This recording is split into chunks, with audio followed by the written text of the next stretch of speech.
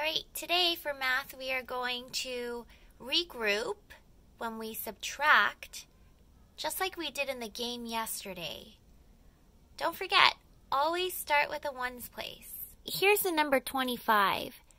Let's practice regrouping on paper before we start subtracting. So, you're supposed to read this two tens and five ones. So two, 25 is the same thing as two tens. I'm not changing anything. I'm not adding anything. I'm not subtracting anything. It is exactly the same thing as two tens and five ones. Okay? Two tens, five ones, same thing. Two tens, five ones. There. Now it's the exact same thing. Now we're going to regroup. So if you can just take a 10, okay? You're going to take a 10 and you're going to move it over to the ones place. What happens if you take one of these 10s and you move it over? It becomes 110. And what happens if you move one rod over here, one 10 rod over here? Then you have one 10 rod and five ones. So 110 and 15 ones is actually the same exact thing as two tens and five ones. Let me show you in a picture form.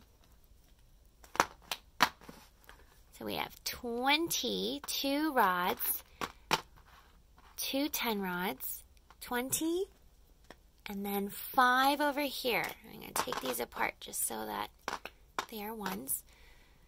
25. Two tens, five ones. Now, if I just regroup, I just move this over here.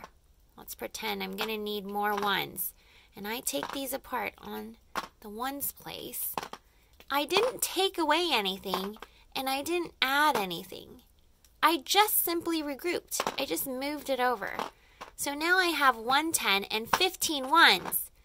But that's the same thing as 25. If I went ahead and counted all of these, it would still be 25 because I didn't take anything away and I didn't add anything. I just regrouped. So 110, another 10 right here, and 5. 10, 25, 25. All I did was simply regroup. So let's practice. Take 39 for example. Say that in tens and ones. You should say ten, three tens and nine ones. Okay, now we're going to regroup.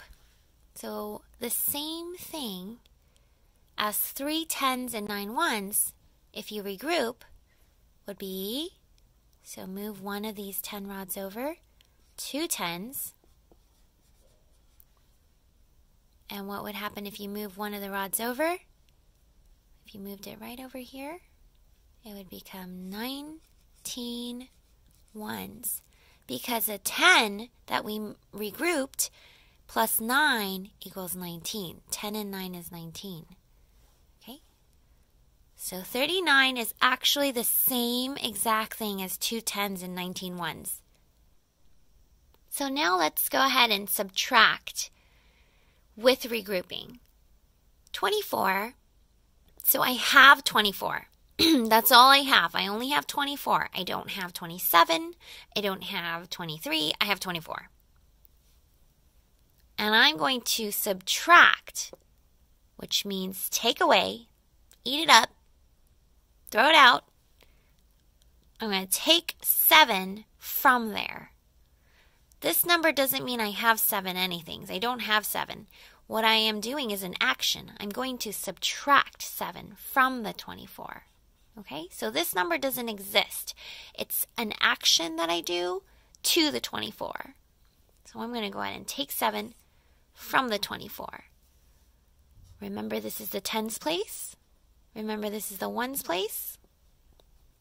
And always start with the ones place. We've got to subtract from the ones place first. So I'm going to take my 7 from the four ones. What do you notice? Are there enough ones? for me to subtract? No, which is why we're going to have to regroup. So let's regroup. Let's take one of these tens. So here's a picture of what I'm talking about. Two 10 rods. Let's take one of these and just simply move it over to the ones place, which we call regroup. So you have two here. We're going to take, we're going to leave one like that. We're going to leave one right here. Okay, we're leaving one and we're going to take the other one and we're going to simply put it right in front of the ones place like this right next to the 4. So what's 10 and 4? 14. Do you see a 14 here? You should see it. Right here. You'll see it looks like a 14. Okay? So now we have 14 ones. 1 10 and 14 ones. Pretty much the same thing as 24, right? 10, 24. 24.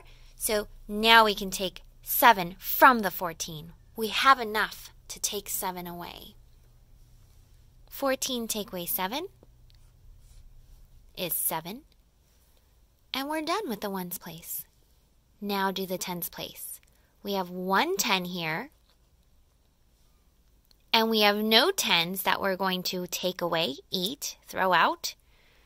So we only have, we still have one 10 left over. Now we have to think and connect this to a real, real um, situation. If we had 24 kids in our class and seven went home early, we would have less kids in the class. We would have 17 kids. Here's another example that looks a little different.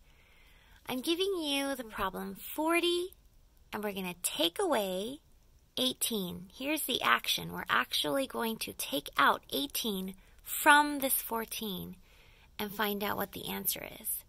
So what you need to do is you need to rewrite this problem. Write this exact same problem by saying out loud four tens and zero ones.